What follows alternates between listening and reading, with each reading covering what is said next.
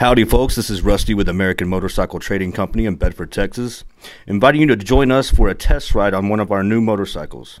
If you're interested in learning more about it, you can visit our website at cleanharleys.com or by clicking the link below, which will take you directly to our website.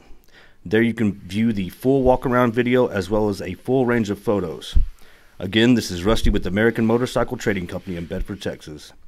The freedom to choose.